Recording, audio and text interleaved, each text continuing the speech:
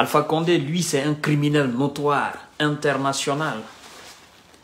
Et tous ceux qui demandent de près ou de loin sa libération pure et simple sont ses complices. Et moi, je les appelle les ennemis de la République. La République a des valeurs qui ont été piétinées, des valeurs qui nous ont chères. Nous avons pris du temps pour construire cette République. Nous avons pris du temps pour construire ensemble les valeurs de cette République. Nous avons pris du temps pour construire la nation guinéenne. Ça nous a demandé des, dizaines d'années. Nous nous sommes battus sur tous les fronts pour construire cette nation.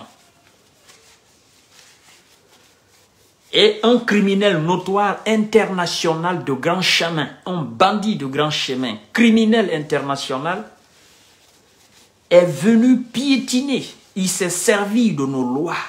Il a piétiné nos valeurs, nos valeurs qui nous sont chères. Nos valeurs les plus essentielles. Les valeurs autour desquelles nous sommes réunis en République de Guinée. Les valeurs que nous partageons, les valeurs communes. Un criminel international notoire est venu piétiner ces valeurs-là. Nous ne sommes pas dupes. Nous allons continuer ce chemin jusqu'au bout. Nous n'allons jamais accepter qu'Alpha Condé soit libéré simplement et purement. Parce que les émotionnels euh, ont demandé, parce que les émotionnels plaident en sa faveur. Nous ne sommes pas émotionnels. En matière d'organisation de l'État, il faut se débarrasser de l'émotion en matière de développement, en matière de lutte pour le développement et pour le progrès de sa nation, il faut se débarrasser de l'émotion. C'est la loi qui doit parler, c'est la justice qui doit parler, c'est la vision, ce sont les ambitions qui parlent. C'est le pragmatisme, on a besoin, on n'a pas besoin de l'émotion là. Donc tous ceux qui euh, aujourd'hui, de près ou de loin, sont en train de jouer à l'émotion. Ah non, c'est un grand-père, ah non, ceci, cela. S'il vous plaît, écartez-vous écartez de notre chemin. Nous, nous devons progresser, nous devons avancer. Partagez ce live. Je vous ai demandé de partager ce live. Je ne vous ai pas demandé de faire autre chose. Je vous ai demandé de partager simplement ce live dans tous les groupes possibles. Je vois des maboules qui viennent sur ma page, je ne les ai pas appelés, je ne les ai pas invités, je ne les ai pas demandés, je ne les connais pas, je n'ai pas leur numéro. Je les vois venir sur ma page en me disant, oh non, si tu n'as rien à dire, il faut la fermer. Oh, il faut aller en Guinée. Oh non, il faut faire ceci, il faut faire cela. Ben, écoutez, moi, je n'ai demandé à personne de venir me suivre. Ici, c'est ma télévision. Je suis le directeur général de cette télévision. Je suis le fondateur de cette chaîne. C'est moi qui paye l'électricité. C'est moi qui paye les unités. C'est moi qui paye ma facture. C'est pas ton oncle ni ta famille qui paye ça pour moi. Alors, je t'ai même pas demandé. Je ne comprends pas ton hypocrisie. Je ne demande pas ton avis. Je n'ai pas besoin de ton avis. Si tu es sorbonnate, si tu es qui que ce soit, je m'en fous. Tout simplement, je m'en fous de toi. Je ne te connais pas. Alors, continue ton chemin. Ne viens pas s'aimer le bordel ici. Cette page-là, c'est pour des hommes dignes. C'est pour des femmes dignes. C'est pour des personnes visionnaires comme moi. On n'a pas besoin d'hypocrites ici. Va de l'autre côté. Nous, on avance. Si ça ne te plaît pas, à quoi ça sert de m'écouter? Si ça ne te plaît pas, à quoi ça sert de chercher euh, mes lives chaque À quoi ça sert de chercher les liens de ma page pour écouter? Tu es simplement un hypocrite, un ignorant. C'est ce que je te dis chaque fois. Si tu estimes que ce que M. Kanté dit ne te plaît pas, tu es prié tout simplement d'aller ailleurs. Moi, je ne te connais pas. Je m'en fous de ta gueule. C'est ce que tu oublies. Je m'en fous complètement de ce que tu penses de moi. Ici, je suis le propriétaire de cette page. Je suis chez moi, dans mon salon. Je paye mes factures. Et toi, un bambin, tu viens sur ma page pour me dire quoi que ce soit. Tu n'as pas de travail. Moi, j'ai une trajectoire à suivre. Donc, si tu n'as absolument rien à faire, ça ne sert à rien de me regarder. Regarde ta télé si tu as une télé chez toi. C'est quoi cette sorcellerie? Tu ne m'aimes pas. J'ai même, même pas besoin de ton amour. Tu ne veux pas m'écouter? Hmm? Tu n'aimes pas mes discours? Mais c'est toi qui es là chaque soir. À chaque fois que je lance mes lives, tu es là. Tu me cherches.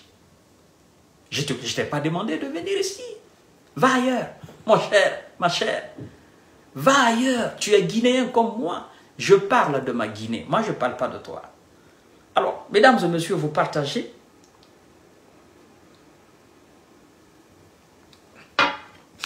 Je vais vous faire écouter euh, l'un des discours emblématiques d'Alpha Condé. Et après, je vais vous expliquer pourquoi ce monsieur est un criminel international. Un criminel notoire international. Et qu'il doit être jugé en Guinée selon les juridictions guinéennes. Condamné en Guinée selon les juridictions guinéennes, selon les codes pénals guinéens. Il doit répondre à ses actes. On ne doit pas jouer à l'émotion là. D'accord? Je pense que vous avez déjà compris cela. Et quand je vous dis que ce monsieur est un criminel international, vous savez, il y a des gens qui regardent aujourd'hui, euh, il y en a qui regardent juste euh, euh, le nombre d'enfants qu'Alpha Condé a tués en Guinée. Mais moi, je dis, Alpha Condé a tué plus de personnes à travers l'Afrique qu'en République de Guinée. Je vais vous expliquer tout à l'heure. C'est pourquoi je vous dis que c'est un criminel international, un criminel notoire. Il a tué des gens en France, il a tué des gens au Bénin, il a tué des gens au Congo, il a tué des gens au Libéria, il a tué des gens au Sénégal. Il a tué des gens même aux États-Unis. Il a tué des gens même en Chine. C'est un criminel international. Je vais vous expliquer pourquoi. Pourquoi je cite ces pays-là, je vais vous expliquer. Mais écoutez ce discours. Parce que les gens parlant de la criminalité d'Alpha Condé se limitent seulement aux, enfants guinéens qu'il a assassinés pour faire son troisième mandat. Mais moi, je vais au-delà de ça. Je vous ai dit que moi, je suis dans la réflexion. Et je vais vous expliquer tout à l'heure pourquoi ce monsieur est dangereux pour l'humanité. On y va. Je vais vous faire écouter l'un des discours de ce monsieur, les discours emblématiques.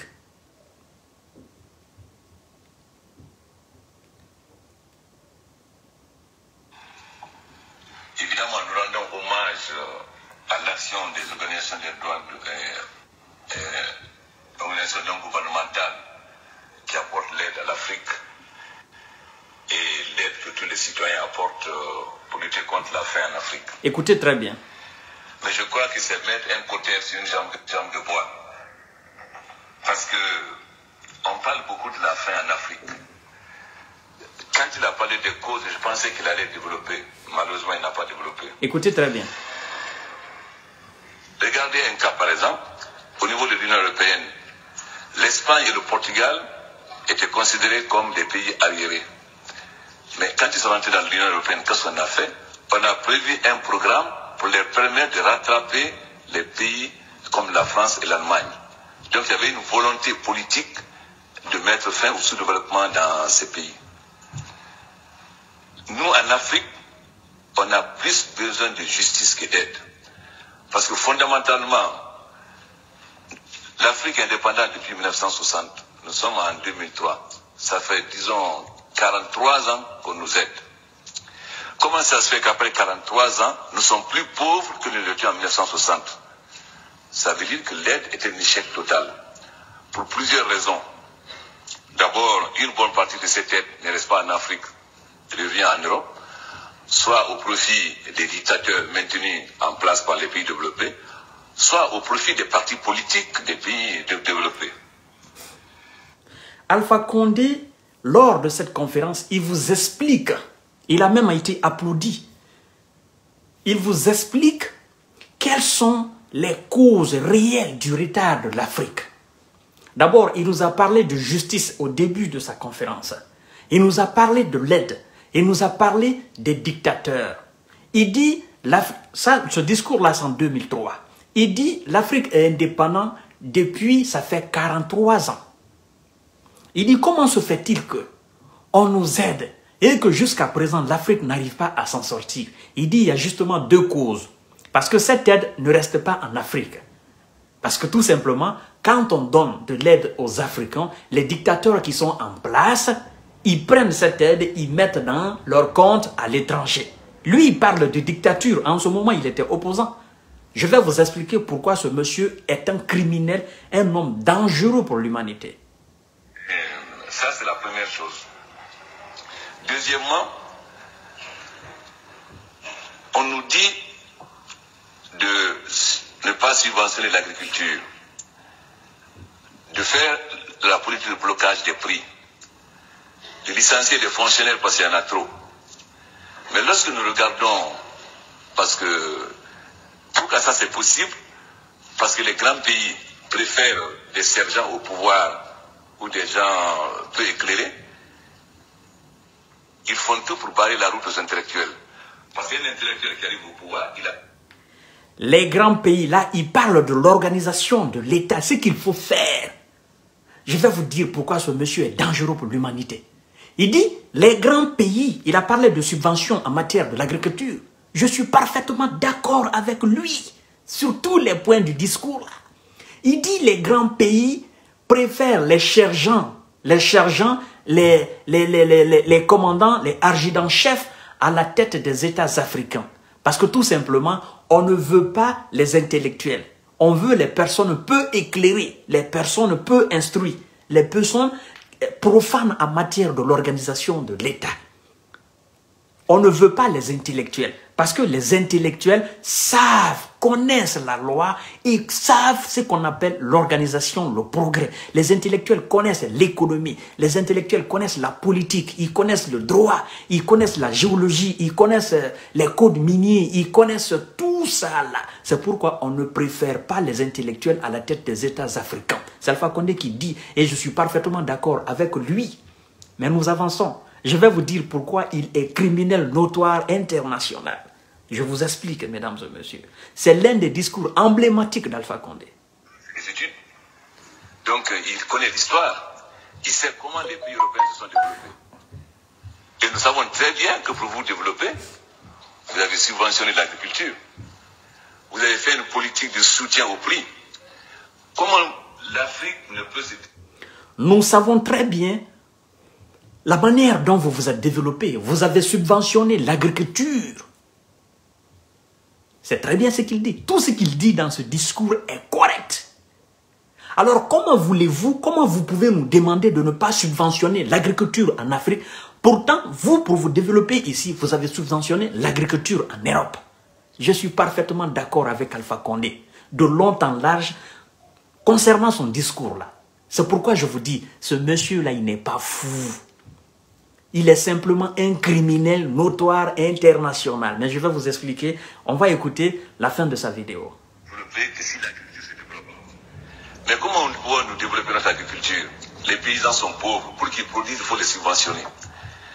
Mais si on les subventionne, les populations sont pauvres. Qui va acheter ces biens produits? Si personne n'achète, le paysan se décourage. Ça veut dire qu'il faut subventionner les prix. Mais ce que vous avez fait en Europe, on nous dit de faire le contraire. Mieux vous voyez? Il, Lui-même, il frappe les Européens ici. Il dit, vous, vous avez aidé les agriculteurs. Vous vous êtes développés. Et vous nous demandez, vous nous demandez de faire le contraire chez nous. Comment nous pouvons faire le contraire chez nous pour nous développer pendant que vous, vous avez fait ce qui est bon pour vous se développer? Je suis parfaitement d'accord avec lui. Je vous dis, mais je vais vous expliquer. Des budgets équilibrés, pas. Mais je pense que j'ai fait Sciences Po. Je sais très bien qu'il y a la théorie du déficit systématique. Hein? Ça veut dire qu'un pays qui veut se développer fait un budget déficitaire à condition que ce déficit serve à financer le développement, non pas à, financer le budget de fonctionnement. Je suis d'accord avec vous. quand vous investissez, l'investissement apporte nécessairement plus que ce qui est investi. Ouais. On nous introduit cela. Moi, je, crois que Madeleine a, dit seulement il faut recruter moins de fonctionnaires, je crois, que de licenciés. On l'a mis dehors. Ça veut dire que le simple fait, même de ne pas dire qu'il faut diminuer le nombre de fonctionnaires, seulement d'avoir dit qu'il ne faut pas remplacer tous les fonctionnaires, il a été chassé du gouvernement. Et pourtant, nous, on nous dit de diminuer le nombre de fonctionnaires. Comment voulez-vous développer l'enseignement si on a besoin d'enseignants qu'on diminue le nombre de fonctionnaires? Donc, au fond, euh, j'ai été intéressé par ce qu'a dit Gilles Bruquet. Ce qui tue le plus en Afrique, ce n'est pas le sida, c'est le paludisme. Si le paludisme était une maladie des pays européens, il y a longtemps qu'on aurait trouvé le vaccin. Comme on le fait aujourd'hui pour le sida. Mais comme ce n'est pas une maladie des pays européens, on ne trouve pas le vaccin. On applaudit, on applaudit l'intelligence de, de l'excellence de 2003. Alpha était l'excellence. On a applaudi son intelligence dans cette salle. Parce qu'il dit tout simplement ce qui est vrai. Ce que les intellectuels africains pensent, ce que l'élite africaine pense. Il dit le paludisme tue plus en Afrique que le sida. Mais vu que le paludisme n'est pas un pays européen, c'est pourquoi jusqu'à présent, on ne trouve pas de médicaments. Les gens l'applaudissent parce qu'il dit la vérité, parce qu'il tape fort les Européens. Ça, c'est l'intelligence de l'excellence de 2003. Je vais vous expliquer pourquoi ce monsieur, c'est un criminel international. On continue son discours. À quoi ça sert que la FAO mène toute cette politique Ça ne sert à rien. Puisque vous continuez à subventionner votre agriculture. En France, quand on produit trop de viande, vous subventionnez, on retire la viande, on stocke. Quand il y a trop de vin, on subventionne, on arrache les vignes, etc. Les États-Unis viennent de subventionner le coton.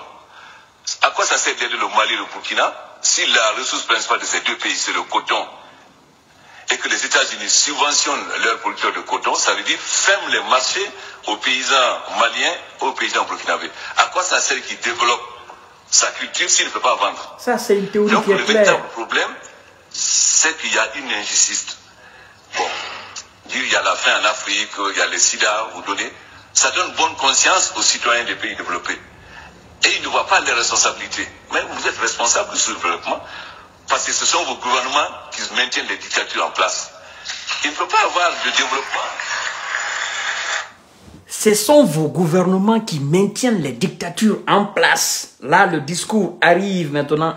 Comme les malingués disent que Kurumbarasi Tinyaka, ni Tinyaka, si le discours d'Alpha Condé, la plus, c'est-à-dire la partie la plus intéressante, vient de commencer. Quand il dit, vous maintenez les dictatures en place. C'est-à-dire, en 2003, ce monsieur a fait rêver des millions de personnes à travers ce discours. Et partout dans le monde entier, que ce soit camerounais, que ce soit congolais, que ce soit marocain, que ce soit algérien, que ce soit euh, tunisien, que ce soit ivoirien ou euh, sénégalais, on disait quoi? Mais Alpha Condé, c'est un homme c'est un homme extraordinaire. Il ne faut pas que les Guinéens perdent ce monsieur.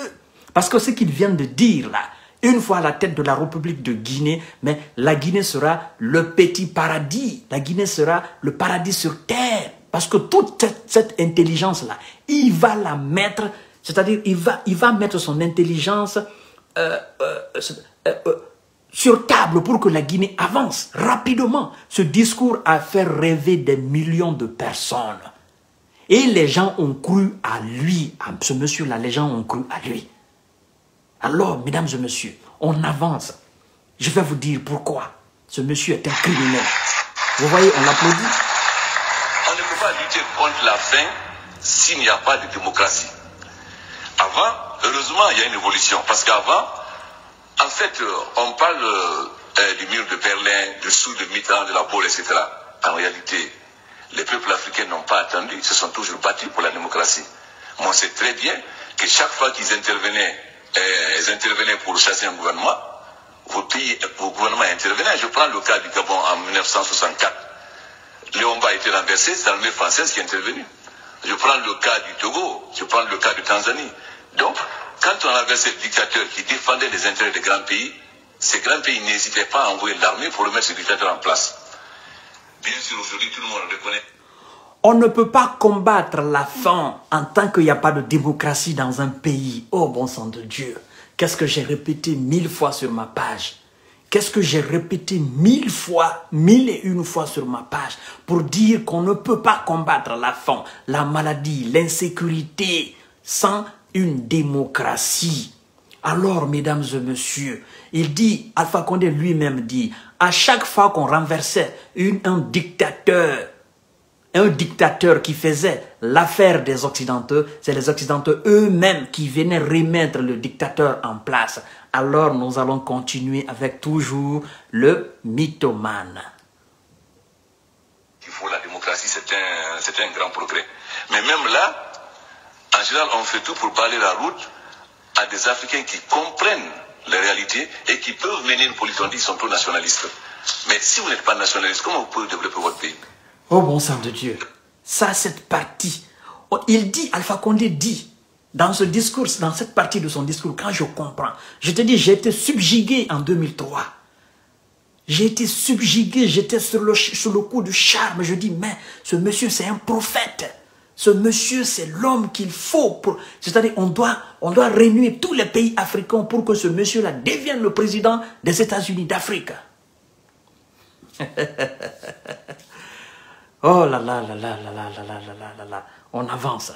On avance, mesdames et messieurs. Donc, je pense que euh, si nous parlons de l'aide, de la lutte contre le paludisme, non. Ce que nous voulons, d'abord, qu'on ait des gouvernements capable de définir une véritable politique de développement. Voilà. Maintenant, il dit, Alpha Condé a dit ici en 2003, il dit, euh, à chaque fois que il y a des personnes, il y a des Africains nationalistes qui comprennent la politique, qui fixent la politique de développement de leur pays, on les chasse, on les élimine. Il dit, comment voulez-vous qu'on se développe si on n'est pas nationaliste? Vous savez, vous avez entendu cette phrase-là, chaque fois je disais, on ne peut pas se développer sans le nationalisme. On a tué Patrice Emerel Lumumba à cause de son nationalisme. On a tué, euh, euh, euh, qui encore? On a tué Thomas Sankara. On en voulait Ahmed Sektouré. Sans le nationalisme, on ne peut pas aller de l'avant. C'est ce qu'Alpha Condé est en train d'expliquer. C'est pourquoi il a subjugué des millions de personnes à travers ce discours. Mais ce monsieur, il cachait une autre facette derrière ces beaux discours, derrière ces belles expressions. Sa facette de criminalité notoire, internationale, réputée. Je vais vous dire. On y va. Développement, c'est-à-dire, quels sont les intérêts de nos pays? Qu'est-ce qu'il faut faire pour développer nos pays? Ça veut dire que nous ayons une politique, comme vous l'avez faite au moment, il ne faut pas nous dire de faire une politique que la France ou les États-Unis font en l'an 2003. Il faut nous dire de faire la politique que vous faisiez au 19e siècle. C'est-à-dire au moment où vous étiez à peu près au même stade où, où nous sommes. Je crois qu'au fond... vous savez, j'ai dit une fois ici, je dis, la Guinée n'est même pas au niveau du XVIIe siècle de la France. Il y a des gens qui m'ont dit, ah non, toi tu comprends rien, tu comprends, tu compares la Guinée euh, de, de, de, la France du XVIIe siècle. Je dis, la Guinée n'est même pas au niveau de la France du XVIIe siècle. Alpha Condé nous dit quoi en 2003 Il dit, vous n'allez pas nous demander de faire la politique que la France fait, que les États-Unis font en 2000 Or, nous ne sommes pas au même niveau de développement que vous. Si vous voulez nous aider, il faut que nous fassions, nous les pays africains, il faut que nous fassions la politique que vous, vous faisiez dans les années, au 19e siècle, c'est-à-dire au, même moment, au même moment que nous avions le même niveau que vous. Le niveau que vous aviez au 19e siècle, nous aujourd'hui, on a le même niveau on a le même niveau de développement, on a les mêmes problèmes, on a les mêmes difficultés. Donc, demandez-nous de faire la politique du 19e siècle de la France en 2003. On ne peut pas faire la politique de développement de la France de 2003 en Guinée. C'est impossible. Parce que nous n'avons pas encore atteint ce niveau-là. Et c'est une réalité. Il disait vrai. J'étais parfaitement d'accord. Et je suis encore parfaitement d'accord. Ça, c'est la théorie. La théorie, il est très facile de faire la théorie, mesdames et messieurs. Ça, ce sont des discours. Il est très facile de s'asseoir, écrire les beaux discours, analyser qu'est-ce qu'il faut faire, qu'est-ce qu'il faut faire, qu'est-ce qu'il faut faire. C'est comme quelqu'un qui ne sait pas danser quand il s'arrête. Une personne qui sait, dans, quand vous le voyez assis, il sait se remuer, on dit non, lui, franchement, c'est un beau danseur. Dès qu'il se lève toute l'heure, il va gâter le coin. Mais dès qu'il dès qu'il se lève, on ne voit plus rien. Alpha Condé ressemble à ce type de danseur. Mais moi, je vais, je vais vous expliquer tout à l'heure pourquoi ce monsieur est un criminel international notoire, dangereux pour l'humanité. On y va. Si nous voyons la situation aujourd'hui, parler de qu'est-ce qu'il faut faire pour lutter contre la faim, c'est de bons sentiments. Nous ne pourrons jamais lutter contre la faim si nous ne reconnaissons pas qu'il faut d'abord la démocratie en Afrique. On présente une image très misérabiliste de l'Afrique, ce qui n'est pas vrai, parce que l'Afrique, il y a beaucoup de progrès. L'espace de liberté s'agrandit. Vous avez plus d'États démocratiques aujourd'hui que de dictatures. Si je prends l'Afrique de l'Ouest, vous avez maintenant trois ou quatre pays seulement où il y a des dictatures militaires. Les autres ont connu la démocratie. On dit non, les Africains, c'est la guerre. Mais la guerre, pourquoi? Nous, nos femmes ne portent pas de diamants. Écoutez très bien cette partie, parce que c'est là, je vais exploser ce monsieur-là. C'est là, je vais le taper fort. C'est là, je vais taper tous les complices des crimes d'Alpha Condé. C'est là, je vais taper tous les militants du RPG Arc-en-Ciel que ce soit les militants de premières heures ou l'arc-en-ciel, c'est là je vais taper tous les émotionnels qui demandent aujourd'hui la libération pure et simple d'Alpha Condé. C'est là je vais taper tous les présidents complices d'Alpha Condé, tous ceux qui demandent, tous ceux qui se battent pour sa libération, c'est là je vais les taper. À partir de la partie de, de ce discours-là, je vais, je vais, je vais, je, écoutez très bien, hein. il dit pourquoi nous faisons la guerre? On ne fait pas la guerre pour les diamants. Nos femmes ne portent pas les diamants ni de l'or. On n'en a même pas les moyens. Qu'est-ce qui va suivre après? Ce qui va suivre après, c'est ce qui est très intéressant. Je vais vous expliquer tout à l'heure. On y va avec le. Après, nous ne fabriquons pas d'armes. Les guerres, on les fait pourquoi Parce qu'il n'y a pas de démocratie. Lorsque vous êtes un opposant, que vous luttez pour la démocratie, qu'à chaque élection, le pouvoir en place fraudé se maintient, à la fin, qu'est-ce que vous faites? Vous recourez aux armes. On dit que l'Afrique, c'est la guerre. Nos femmes, on ne fait pas la guerre pour le diamant, ni pour l'or. Nos femmes ne portent pas le diamant. Ils ne portent pas l'or. Mais pourquoi la guerre? Quand vous êtes opposant en Afrique, à chaque fois qu'il y a des élections, le parti au pouvoir fraude les élections, par fini, qu'est-ce que vous allez faire? Vous allez faire recours aux armes. Vous allez faire recours aux armes. C'est ce que Alpha Condé nous dit dans ce discours de 2003. On y va. On ne fait pas les guerres pour les diamants, mais nous faisons la guerre parce que nous voulons la démocratie. Mais qui profite de ces guerres? Nous faisons la guerre parce que nous voulons la démocratie. Mais à qui profite la guerre? Ceux qui fabriquent des armes ceux qui sont derrière ces guerres. Nous faisons la guerre parce que nous voulons la démocratie. C'est ce que je voulais entendre et c'est ce que je voulais que vous entendiez, mesdames et messieurs. Nous faisons la guerre parce que nous voulons la démocratie. Le reste du discours d'Alpha Condé ne nous intéresse pas. Partagez ce live au maximum. Je vais commencer maintenant à frapper ces gens-là. Ce monsieur je vous l'ai dit, c'est un criminel international, un criminel notoire international. Il a commis des crimes un peu partout à travers le monde. Quel est le crime le plus dangereux de l'humanité? Quel est le crime le plus horrible de l'humanité? Quel est le crime le plus effrayant de l'humanité? Je vais vous dire, c'est pas d'égorger quelqu'un, non c'est pas de tirer à balles réelles sur une foule. Non. Le crime le plus dangereux, le crime le plus impardonnable, le crime le plus effrayant, le, le crime le plus nocif de l'humanité, c'est le crime moral. Le crime moral. Quand vous tuez la moralité des millions de personnes, c'est le crime le plus dangereux. Vous êtes l'un des criminels les plus dangereux que l'humanité ait jamais connu. Alpha Condé, il a tué des gens moralement, des gens qui ont cru en lui, Pendant combien d'années? Pendant plus de 40 ans.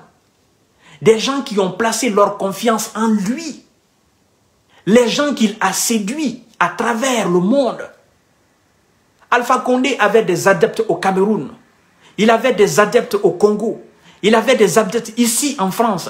Il avait des adeptes aux États-Unis. Il avait des, des adeptes en Russie. Un peu partout à travers le monde. À cause de quoi? À cause de son intelligence. À cause de discours pareils. Et Alpha Condé au pouvoir en République de Guinée. Alpha Condé a tué complètement l'espoir de toutes ces personnes-là. Vous savez, c'est comme si aujourd'hui, des millions, de millions d'hommes et de femmes de par le monde sont des musulmans. Il y en a qui sont des chrétiens. Et que demain ou après-demain, on vous dit que eh, la personne que vous avez cru être votre prophète est une personne fausse. La religion que vous avez pris à bras le corps, c'était une fausse religion.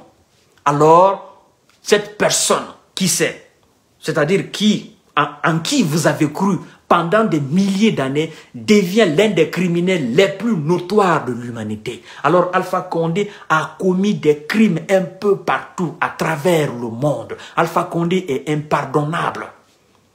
Alpha Condé a subjugué des millions de personnes à travers ses discours, à travers son engagement, depuis dans les années 1950-1960 jusqu'à nos jours. Alpha Condé. C'est-à-dire, il y a des gens qui dormaient Alpha Condé, qui marchaient Alpha Condé, qui priaient Alpha Condé. Il y a des gens qui mangeaient Alpha Condé, c'est-à-dire en mangeant, ils pensent à Alpha Condé. Il y a des gens qui étaient prêts à se sacrifier, à s'égorger. Il y a des gens qui étaient prêts à tout faire pour que Alpha Condé accède au pouvoir. À cause de quoi? À cause de son intelligence devant les Blancs, à cause de ses paroles devant les, ses compères, à cause de son intelligence devant les conférenciers. Parce que chaque fois que ce monsieur prenait la parole, qu'il parlait, qu'il faisait des discours, la théorie, on l'applaudissait. On disait oui, c'est l'homme qu'il faut à la République de Guinée. C'est l'homme qu'il faut à, l'Union africaine. C'est l'homme qu'il faut à l'Afrique tout entière. Parce que cet homme-là, il est capable. Cet homme-là, avec son verbe, on sait qu'en un clin d'œil, il peut rendre euh, l'Afrique ou la Guinée entière en un paradis terrestre, un pays convoité un pays attirant. Ce monsieur, il a commis des crimes. Il a tué des espoirs. Ce monsieur nous dit quoi à la fin de son discours? Il dit, on ne fait pas la guerre en Afrique parce qu'on veut faire la guerre. On ne fait pas la guerre pour le diamant. On ne fait pas la guerre pour de l'or parce que nos femmes ne portent pas de l'or, encore moins le diamant. On n'en a même pas les moyens, on n'en a même pas besoin. On fait la guerre pour la démocratie. On fait la guerre pour la démocratie. Pourquoi? Parce que quand vous êtes opposant en Afrique, vous participez aux élections, vous estimez que vous avez gagné ces élections et que le pouvoir en place fraude l'élection, vole votre victoire, se maintient au pouvoir, au final, qu'est-ce que vous allez faire? Vous allez recourir aux armes. C'est ce que Alpha Condé dit en 2003. Alors, mesdames et messieurs, les adeptes d'Alpha Condé, ceux qui demandent aujourd'hui la libération pure et simple d'Alpha Condé. Vous savez, il a tué des enfants en Guinée, encore. Il a tué des espoirs en Guinée, encore. Pendant même qu'il était au pouvoir. Pendant même que son pouvoir était supposé être légal. Parce que de 2010 à 2020, disons que c'était un pouvoir légal. Mais Alpha Condé a oublié son discours de 2003 quand il dit les dictateurs. Et lui-même, devenu dictateur, nous, nous avons, nous forcé, nous, nous sommes battus pour qu'il quitte au pouvoir. Et lui-même, qui sait, écoutez bien, qui sait si c'est le discours de 2003 d'Alpha Condé qui a inspiré le colonel Mamadi Doumbouya à prendre le pouvoir? Qui sait? Qui sait que Mamadi Doumbouya était un adepte d'Alpha Condé? Qui sait si Alpha Condé a tué l'espoir qui vivait en cet homme-là, Doumbouya? Qui sait que l'enfance de Doumbouya a été marquée par Alpha Condé? Qui sait que Mamadi Doumbouya tirait son inspiration dans les théories d'Alpha Condé? Qui sait que c'est à cause d'Alpha Condé lui-même que Mamadi Doumbouya a fait le coup et qu'il a repris le pouvoir? Qui sait? Personne. Ça peut être une réalité. Parce que lui-même a dit que quand vous avez un dictateur au pouvoir qui refuse de, connaître, de reconnaître votre victoire lors des élections, il faut recourir aux armes. Et vous n'allez pas me dire le contraire aujourd'hui. Doumbouya a pris les armes. Ce qu'Alpha Condé a dit, il a appliqué ce que Alpha Condé a demandé. Alpha Condé dit qu'il faut prendre les armes. Doumbouya a pris les armes, il a délogé Alpha Condé.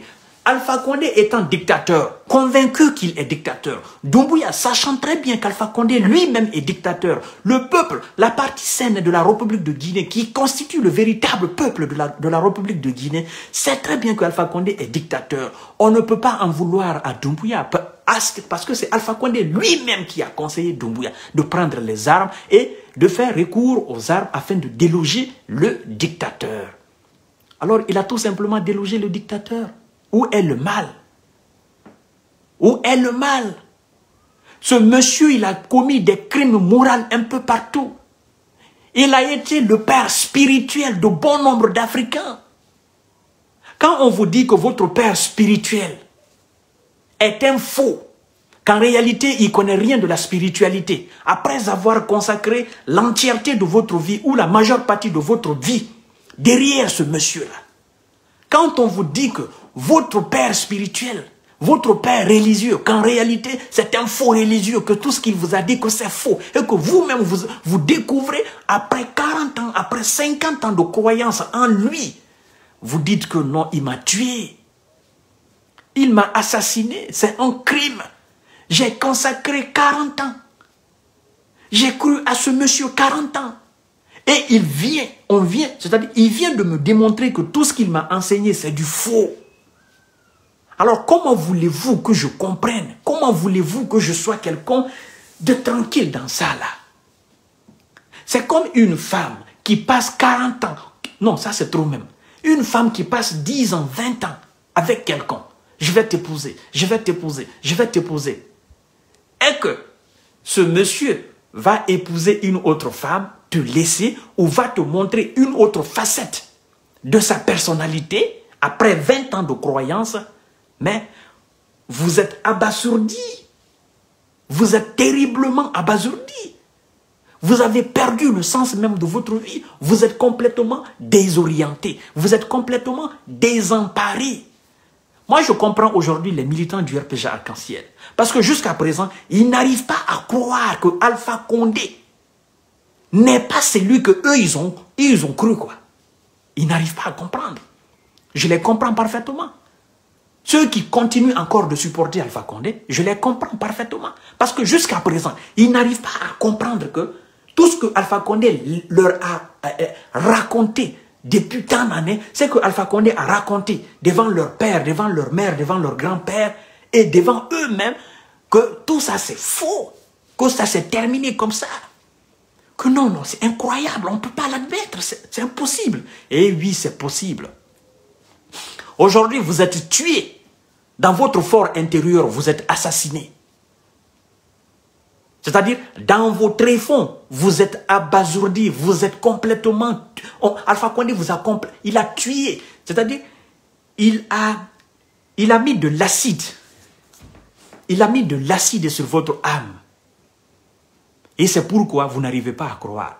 C'est pourquoi je dis, ce monsieur, c'est un criminel notoire international. On ne doit pas le lâcher on doit le juger. Et tous ces gens qui ne sont pas des Guinéens, qui ont cru à ce monsieur-là, je pense que s'il y avait une justice, une justice pour ces gens, ils devraient aller se plaindre.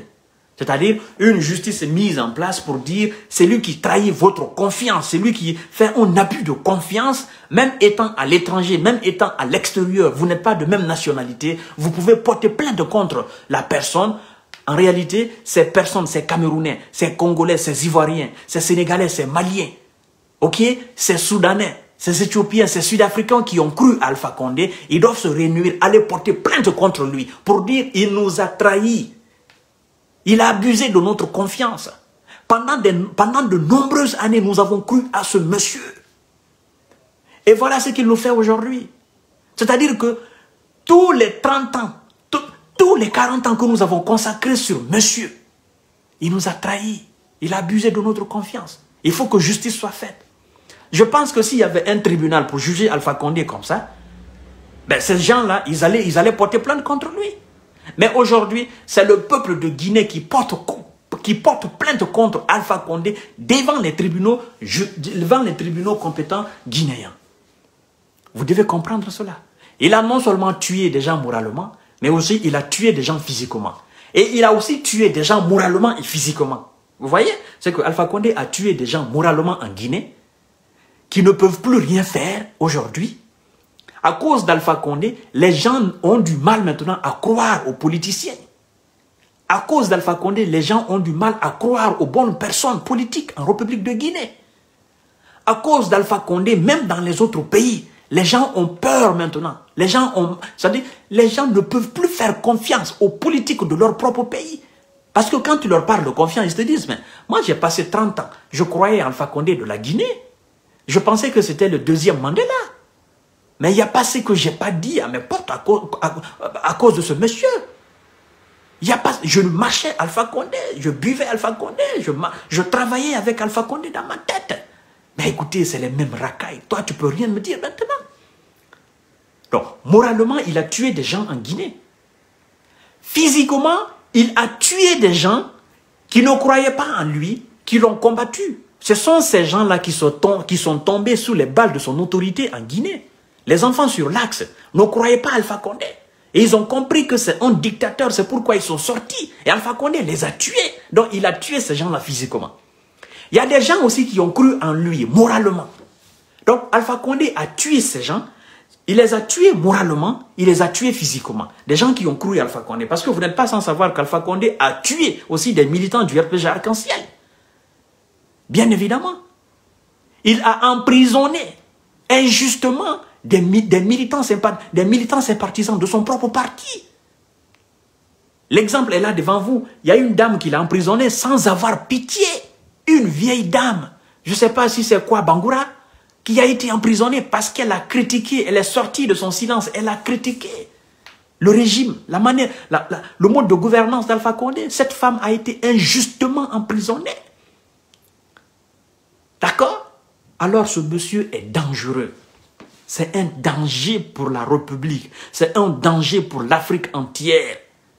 Il a dit qu'il faut faire recours aux armes. Nous avons fait recours aux armes. La République de Guinée, l'armée guinéenne, l'armée républicaine a délogé Alpha Condé. C'est lui-même qui a conseillé à l'armée que vous devez prendre les armes quand il y a un dictateur à la tête de l'État.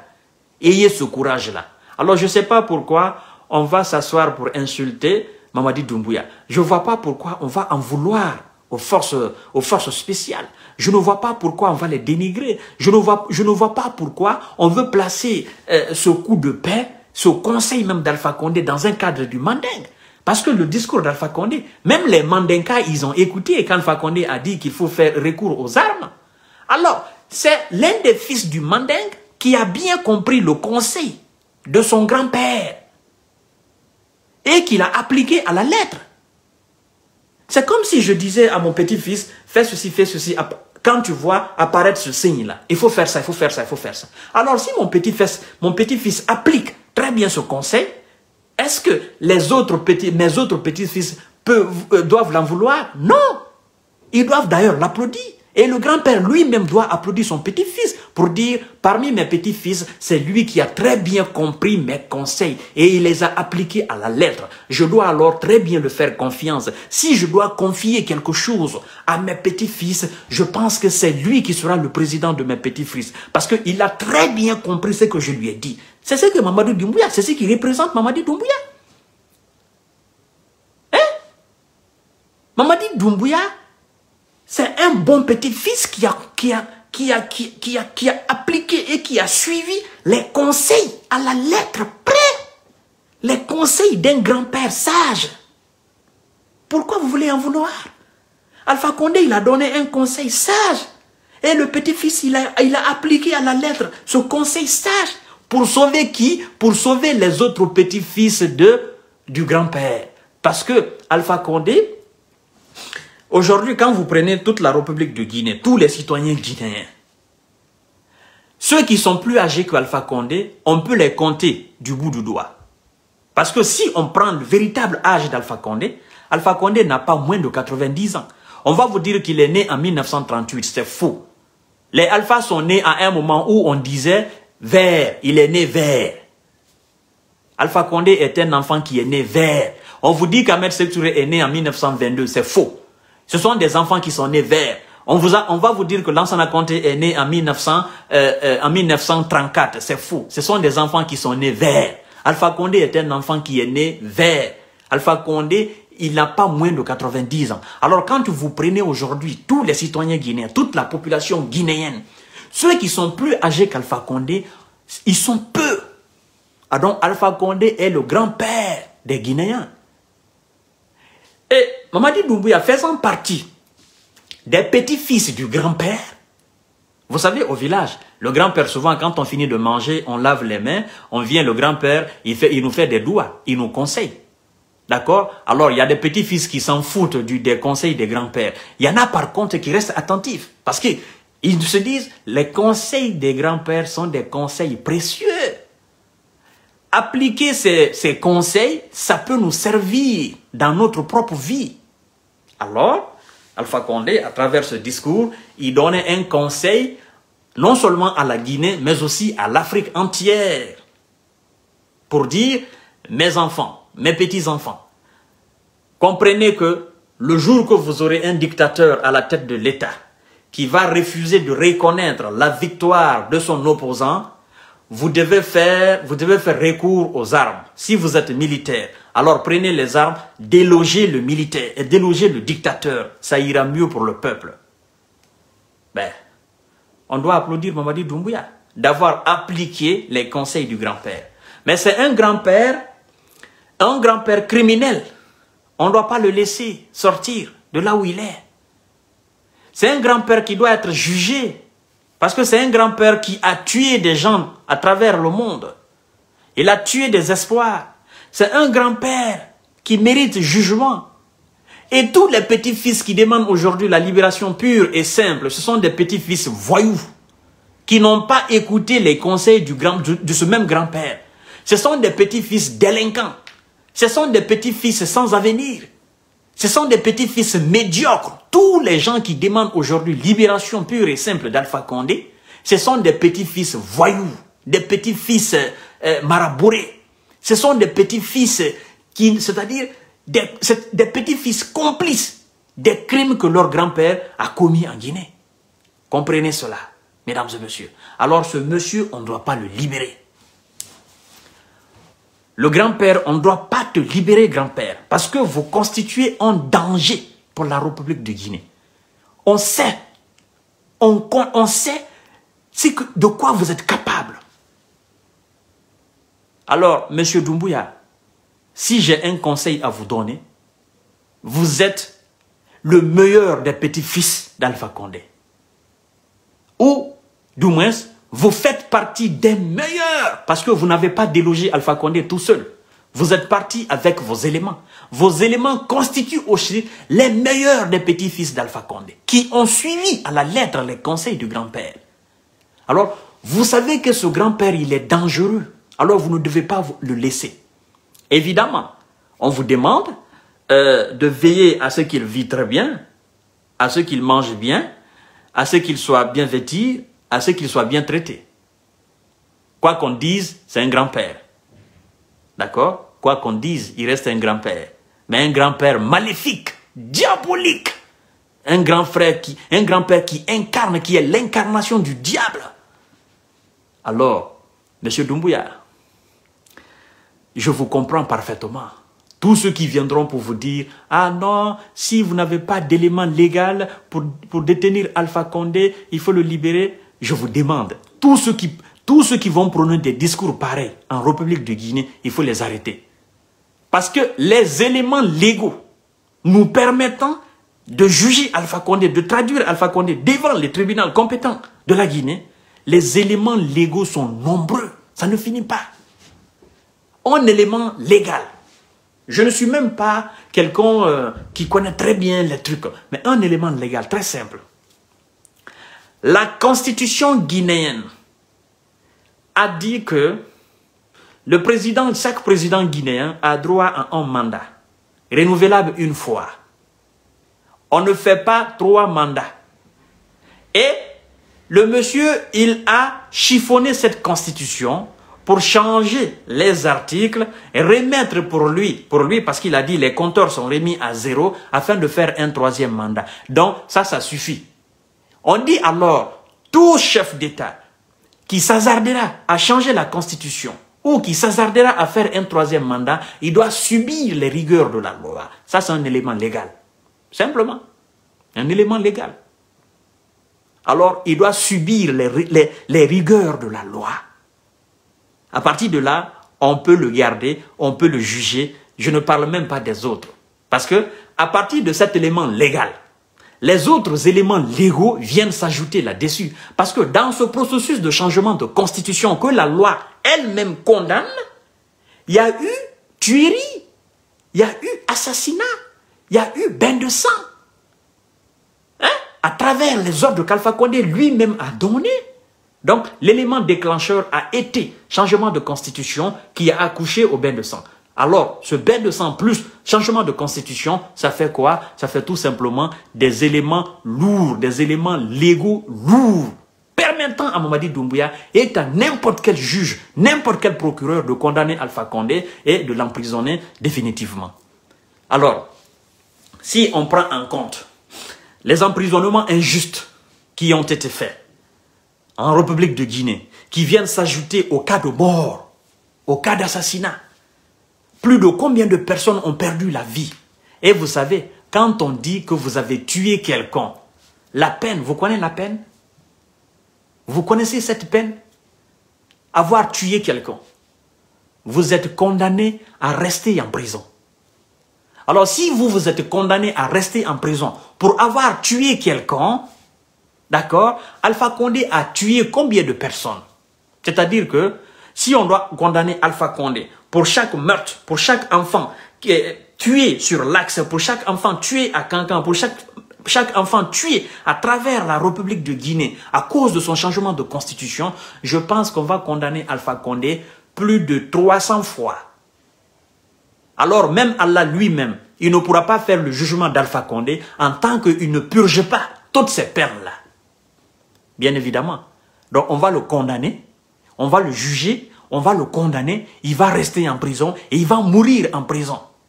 Et même enterré, on va mettre aussi une chaîne sur sa tombe pour dire il est condamné même, à l'au-delà. Même à l'au-delà, Allah lui-même ne pourra pas faire son jugement. Il faut qu'il finisse d'abord de purger ses, peines. Il n'y a pas d'émotion là. Non. Enlevez l'amour dans ça. Tous ceux qui pleurent là, moi je n'ai pas besoin de vos, de vos larmes. Essuyez vos larmes. Sinon, l'eau qui est dans votre corps là, ça va finir. Moi, quand je ne peux pas avoir pitié. Il n'y a pas pitié dans ça. Vous parlez aujourd'hui de pitié, c'est parce qu'on n'a pas tué l'un de vos enfants. Vous, vous, faites couler aujourd'hui des larmes parce que ce n'est pas l'un de vos petits-fils qui a été tué. Vous avez perdu la tête pour dire qu'il faut, qu'il faut libérer Alpha Condé. Vous mangez quoi? Il y a quoi dans votre cerveau là? Dans, dans votre tête là? C'est quoi? C'est la boue quoi? Mais moi je ne vous comprends pas. Je ne vous comprends pas. Vous étiez là durant tout ce temps. Vous voyez les cercueils. Vous voyez les linceuils. Vous voyez le drapeau guinéen déposé sur chaque cercueil, aligné comme ça là. On n'a même pas fait, on n'a même pas décrété, euh, voilà, on dit bon, ça c'est un jour euh, pour les personnes, nos martyrs qui sont morts. On n'a pas fait cela. Et Alpha Condé s'est foutu de votre gueule. Le président tchadien est mort, il a dit un jour en Guinée on ne travaille pas. Pendant qu'il y a des centaines de Guinéens qui sont tombés sous les balles de son autorité, on n'a pas... Non, je ne peux même, je ne peux même pas expliquer l'hypocrisie du Guinéen, quoi. Sincèrement, je ne peux pas comprendre comment le Guinéen réfléchit. Et vous pensez que dans cette, dans, dans cette manière de penser, nous allons avancer? On ne peut pas avancer avec ces hypocrisies pareilles. On ne peut pas aller de l'avant. Alors, son Excellence, le chef d'État, colonel Doumbouya, si vous voulez réellement que la Guinée fasse un départ positif imminent, si vous voulez réellement que tous les Guinéens se souviennent de vous, vous avez dit que le renouveau guinéen, le véritable pilier de la renaissance guinéenne, vous avez dit que ça sera la justice. Oui, vous avez dit que ça sera la justice. Alors, ne vous amusez pas à cela. Prenez ça au sérieux. Prenez cela à bras le corps. N'ayez pas peur, mettez les sentiments de côté. Vous avez pris un grand risque en délogeant le grand-père. Il y a des enfants guinéens qui ont perdu la vie là. Vous avez des éléments qui ont perdu la vie aussi. Il y a ceux qui gardaient des petits-fils marionnettes qui gardaient aussi le grand-père malhonnête, le grand-père criminel, le grand-père bandit, grand, de grand chemin. Ils ont perdu la vie. Paix à leur âme. Vous n'allez pas prendre tous ces risques, appliquer à la lettre les conseils du grand-père et venir jouer au sentimental. Je sais que vous êtes un militaire expérimenté, vous êtes un militaire chevronné, vous êtes un militaire qui a la tête sur les épaules. Je sais que vous êtes un militaire qui n'a pas badiné sa formation. Je sais que vous êtes un militaire carré, comme disait Segouba Konate. Je sais que vous êtes capable de faire ce travail. Alors ne jouez pas la justice. Faites en sorte que tous les Guinéens sans exception de rang social, de sexe, de religion, de région, tous les Guinéens, tout le monde est peur des lois de la justice guinéenne. C'est la justice qui va créer le nouveau Guinéen. Le nouveau Guinéen sera créé par la justice. Parce que si on a peur de la loi, si on a peur d'être emprisonné, on ne va pas commettre des bêtises. Les ministres qui sont aujourd'hui là en Guinée, il faudrait qu'ils soient jugés. Il faudrait qu'ils soient enquêtés. Il faudrait qu'on fasse de l'audit, l'audit post, euh, euh, euh, à titre posthume de ces ministres-là. Que ceux qui sont fautifs, fautifs, qu'on les traduise devant la justice guinéenne. Que ceux qui sont innocents, qu'on les laisse tranquilles, parce que nous voulons la justice tous ceux qui étaient autour d'Alpha Condé, ce n'est pas tous ceux-là qui ont fait du mal à la République de Guinée. Parmi eux, il y a des innocents. Il faut être objectif. Alors, si on ne fait pas d'audit, on ne fait pas d'enquête, on ne saura pas qui est innocent, qui est, qui ne l'est pas. Alors, il faut organiser ces enquêtes et ces audits pour éclairer, pour ne pas que on, on trimballe tous ces gens-là devant les tribunaux guinéens. Ça, c'est un. Deuxièmement, vous devez veiller à ce que les secrétaires généraux qui ont remplacé les ministres déçus là, que ces secrétaires généraux fassent très bien leur travail. Vous devez à chaque moment organiser des enquêtes sur leur travail, sur ce qu'ils sont en train de faire actuellement. Il faudrait que ces gens-là pensent que, croient que ce qu'ils sont en train de faire, qui seront audités, c'est un conseil que je vous donne. Il faudrait que ces gens-là soient inquiétés. Qu'après trois mois, qu'on fasse des enquêtes sur leur, sur, sur financement, la manière dont ils travaillent, la manière dont ils gèrent l'argent public. Il faudrait que ça commence par eux, avant la composition du gouvernement de transition. Les ministres, les, secrétaires généraux qui sont là, on doit commencer par eux. Les directeurs généraux qui sont là, là, on doit commencer par eux, avant la mise en place du gouvernement de transition. Pour que le gouvernement de transition vienne trouver quelque chose en place. Et après avoir composé ce gouvernement de transition, il faut fortifier les contrôleurs de l'État.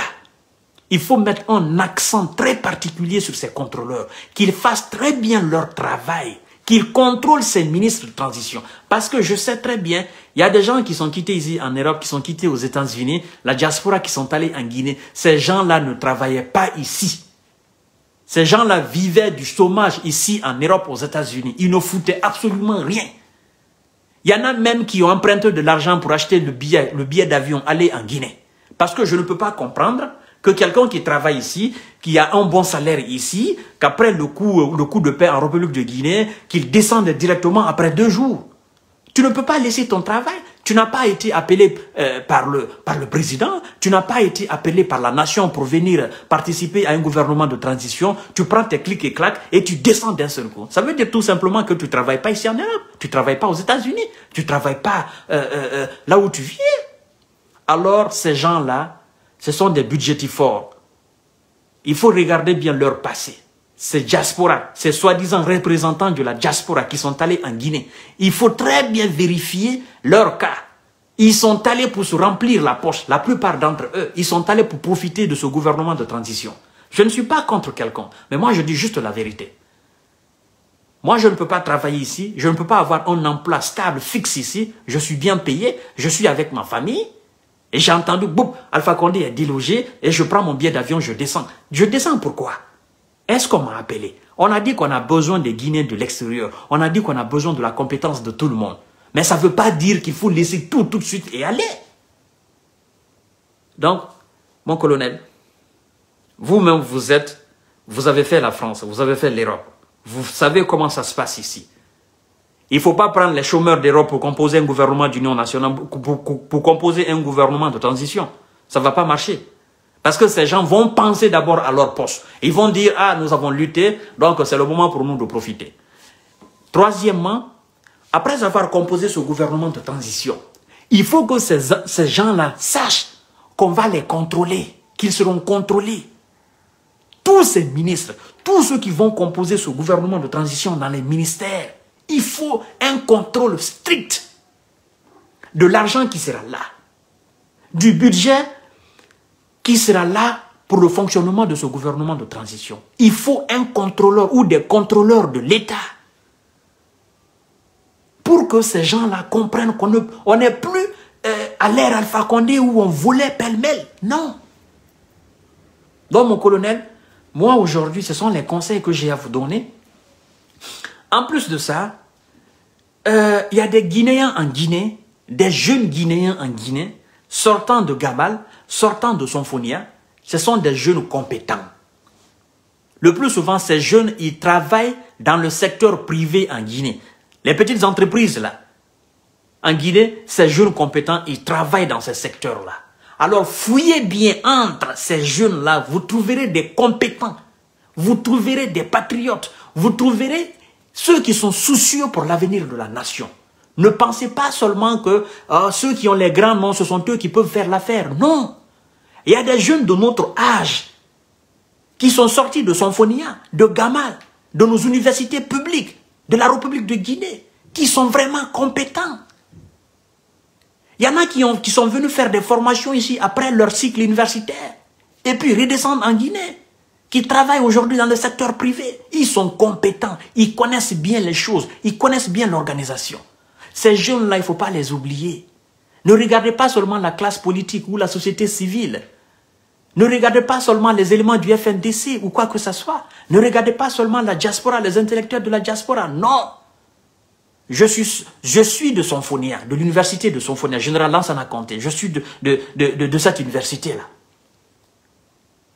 Alors, je vous dis, je signe et je confirme, je persiste là-dessus. Il y a des compétences en Guinée qui sont sorties de nos universités guinéennes et qui sont capables de faire l'affaire. Ça ne doit pas vous surprendre. On vous dit souvent, ah, les, les universités guinéennes, les étudiants guinéens n'ont pas le niveau. C'est faux. Parmi eux, il y a des meilleurs.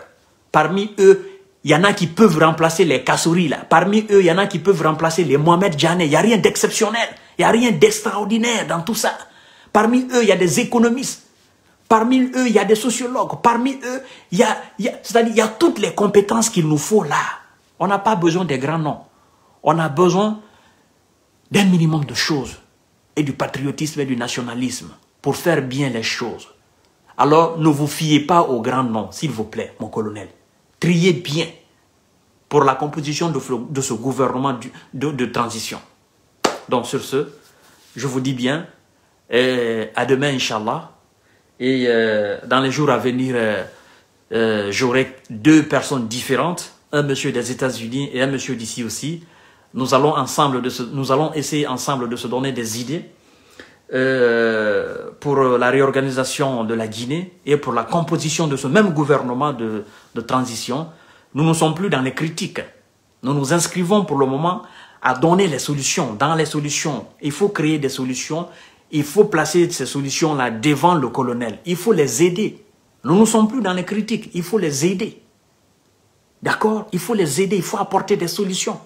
Alors, dans les jours à venir, comme je vous ai dit, je vais prendre des personnes vraiment euh, matures euh, dans le domaine administratif pour qu'ensemble on essaye de faire quelque chose de bon. Et nous disons grand merci à notre colonel d'avoir appliqué le conseil du grand-père. Grand merci à lui, grand merci à ses éléments et vive la justice, vive la solidarité, vive le travail, vive la République de Guinée, vive le progrès, vive l'égalité et vive l'armée guinéenne, l'armée républicaine.